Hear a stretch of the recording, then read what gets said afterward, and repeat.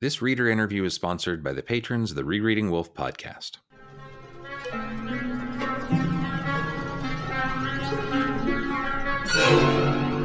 All right, so we have Sierra Reynolds.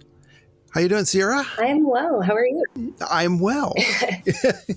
Sierra, you are uh, a patron of the podcast, but I don't recall seeing you make any, very many comments like on Facebook or Reddit or anywhere like that. No, I am so tech literate. I am such a little old woman at heart. But I, I'm a bystander. I read a lot of comments and stuff, but I, I really chime in. Yeah, yeah, sure. Yeah, every now and again, but intimidating. Everyone's so smart and has such great theories and thoughts and stuff. It's kind of hard to keep tabs on what's been said or Yeah. where. Well, are you ready to play the game? I guess so. Okay, terrific. Let's see. Well, oh, first encounter with a Wolfe story. Uh, well, my first encounter was with Book of the New Sun, um, and I was living in Flint uh, a few years back and dealing with the lead crisis and stuff. Oh my. Oh yeah, lots of fun. Uh, my boyfriend at the time was in Chicago, and so we were kind of looking for you know activities we could do long distance together, and we decided to read a book. And so he sent me a copy of Shadow and Claw, um, which he had read before, but decided he needed to revisit. and I'm sure he still regrets that to this day because I still with ideas and questions. But uh, at the time, it was kind of one of those. I read Shadow in maybe a couple days, and I enjoyed it, and it was interesting, and it was I thought it was beautifully written. But I was also so brain fried, and there was just so much going on at that time that I didn't really know enough of how to like proceed and there, you know i wasn't really grasping exactly what was going on i really didn't have any context for how to read it yet Mhm. and so in waiting for my boyfriend at the time to kind of catch up with me it kind of fell by the wayside and i kind of forgot about it for a couple years and then uh, after I had moved to chicago and was not dealing with lead poisoning so much anymore i had a, an opportunity to pick it up and kind of was perusing it for I think I was cleaning or something and was like, "Oh, hey, this. I forgot about this." And kind of started paging through it and kind of piqued my interest again and I was able to kind of revisit it with a little more context and Oh, got a lot more out of it that time. well, th- that's okay. So, yeah, the first time you just kind of did you finish it? Uh, no, I actually read through I finished Shadow, but I was kind of like that was cool, but Yeah. what? and I think when I had rediscovered it later, I almost had that same kind of wait, what's going on? And then in talking with other friends and, and reading more about Gene Wolfe as an author, I was like, oh, this is an entirely new way of reading. Okay. Like, Well, you have some very interesting friends because it's all usually that's the complaint about uh, you know Gene Wolfe fans is that I can't find anyone else who's ever heard of him. yeah. Well, and I've kind of, I think I've drained my my friends' interest in that particular topic. I have a couple people who are kind of fringe interest and you know i've read a couple books or you know stories here and there, but are not quite as into the the notes and the rereading as I am. So All right. So, all right. Well, let's go with the the next question. Favorite Gene Wolfe novel or short story, either or both. uh, I think so. Obviously, I love Book of the New Sun, probably a very close second, but I think my favorite is probably Fifth Head, Oh, the book yes. Yeah. I obviously this book too. But when I kind of think of that whole, you know, what book could you take if you were stuck on a desert island or something? Like, it seems like a much more, I don't know, a little easier to digest, I guess, and you know, easier to parse through, and it kind of helped me to attack Book of the New Sun in a new way. I think after I read that one as well. That's exactly the way I felt. Yeah, I felt I, I didn't I didn't really appreciate Book of the New Sun until I read Yeah, Fifth of Cerberus. it was a good exercise in that for sure. Yeah, and they're both, in my opinion, they both break the envelope for the novel in different ways. And Mm, yeah. uh, I mean, Fifth Head, parti- most obviously, because it has a novel that's basically existing in the Right. spaces between three novellas, but Book of the New Sun too. Yeah, they both feel very pertinent to our time in different ways. I think uh, Fifth Head always makes me think of like Elon Musk and his, you know, Mars ventures and the kind of idea of like, hey, what happens when a, a sentient species kind of gets ahead of itself? Yeah. It kind of takes on X it can't quite handle yet. And seems like a, uh, a useful piece of literature for our time. Yeah. Oh, yeah. That's great. All right. Favorite Wolfe word? This one's really tricky for me. I don't I mean, I love saying cacogen just because it's a fun word. I think we should kind of bring it into Mhm. the, the normal lexicon and try to just normalize it. But uh, Okay. What would we actually apply cacogen in a way that wouldn't just be uh, totally insulting? anything is everything. well, I mean, to be fair, I identify myself as a bit of a. 'cause Historically, it means like an antisocial person. And so, uh, Oh, okay. in that respect, you can kind of throw it at anywhere. Like, God, Becky, don't be such a cacogen. Let's go to the party. Like, plenty of uses. To, Good point. Well done.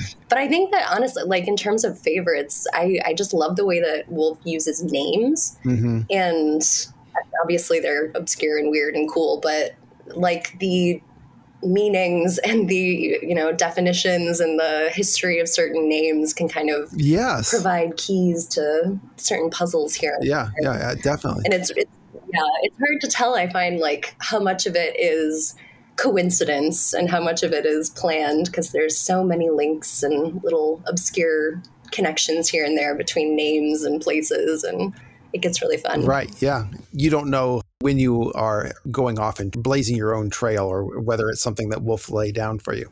Yeah. Yeah. That's the, uh, Exactly. that's the nature of Gene Wolfe isn't it? So Very much. a personal non-consensus theory about a Wolfe story or just your favorite one. Uh, so yeah, because I'm such a, a hermit and I don't go on as many message boards, I'm not totally sure where all the consensus necessarily are, but It's safe to say there's there's very little consensus in these stories, is what I've learned. Yeah, I think that's probably a good, a good. I guess one of my favorites is the idea of Valeria and her familial connection to Severian and possibly being his twin, maybe. Yes, yeah, yeah. That's one of my my pet theories currently that I've been kind of playing with, just based on a lot of the evidence from like the Twelfth Night Yes. quotes and references, and Oh, and there's a lot here to play with. oh, Sierra, wait till we get to Odilo. I know that's That's where she should be, right? If you, if you follow the the Twelfth Night connections, yes, that's where she should be, right? and her her husband, her second husband, who conveniently uh, exits the scene before Severian comes back, is also an interesting Yeah, character in there too. Yeah. with a very uh, convenient name. So, yeah, definitely, yes. so lots to play with. Okay, and now most frustrating mystery in a Wolfe story. Any? This one is a major toss up uh, because it could be.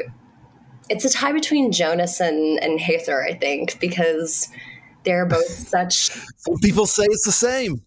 right, exactly. That's where I'm like, you know, it might be the same question, but but they both have such interesting, weird things, and probably my my interest lies more with Jonas because Hathor is just kind of a creep, but I don't want to know you, Hathor. right, like mm, you can wait. I'm not sure about you, but but there's just yeah, there's a lot there to to unpack with Jonas and. He has a lot, obviously, to do with Jonah and the the big fish, as it were, but also hmm the big tie, I think, is Janus, which is the Roman god of gates. Oh, I love that one. That's great, and I can aff- affirm that Wolfe is crazy for Janus. I Yes. that's great. Yeah, there's a lot there, and he's a very interesting figure. Uh, he has uh, some trysts with Juturna, and has some some little kids running around in different areas of mythology. That uh, one I think is hmm connected to the Tiber and in various areas. But um, and then there's also obviously the the Jason and the Argonauts connection. hmm So yeah, there's a lot of interesting things, and I think that there's some fun overlap in the we look at like Yada and his search for Max and Lindis, who he can't find on the river, um, and then looking at mm-hmm. obviously Jonah, or yeah, Jonah, looking for uh, Yolenta, who is a whole other right. mystery in and of herself. and then Hathor and his his little uh, sex doll figure, like particularly when we look at like the the definitions of the names too, like you know, Jonas means dove, and uh, Yolenta means violet, and so there's just a lot of themes there bouncing around. So. Mm-hmm. But, uh, oh, that's a good one. Yes, I'm not. I'm not sure I was ever aware of the Violet's connection with uh, Jolenta. Yeah, something I was recently looking because I regularly forget what I've already kind of looked into and have to revisit stuff. I have a, a, memory very unlike Severian. Uh, I don't remember anything. And so, no, no, mine's like an attic where I, oh yeah, I remember this. Oh yeah. Yeah, right. It's like once it's like in front of me, I'm like, oh right, right, right. I remember writing that three page list of things that I connected, but so I've been going in and revisiting all of the name definitions and trying to piece together those. And oh, you've got it. yeah, you've got it. you've been keeping your light under a bushel. You've got lots of good stuff. Ah. Oh, yeah, you, you need to be much more vocal. I'll make an effort. oh, yay. Yeah, that's terrific. Yo, no, you've got you've got some really good stuff. I'll stop being such a cacogen and, and try to be a little. That's right. Come on uh, Sierra the Haradyali. So, yeah, the, well, this is this is no, this is really good. This is I did I didn't know what I was walking into. This is great. yeah, you've given. Yeah, well, that's often what I hear from my friends who have unwittingly let me know that they were interested in Gene Wolfe at some point or another. they also didn't know what they were walking into, and um, fr- frankly, that's what a lot of people discover when they interact with me about a Wolfe story. So I can I can relate. I can relate. Kindred spirits. Wow. Yeah. Oh, this was great. This is really good. And yeah, you've just you just added a whole couple new threads coming off of Jonas. So that's uh, that's I mean the thing with Joe, he's got so many threads. It's like you start pulling one and yes. unraveling it, and then it's tied up with this other whole different embroidery, and it's yes infuriating and also a lot of fun. Oh well, gosh, thank you, thank you, Sarah. This is really good. Yeah. Thank you for for your time.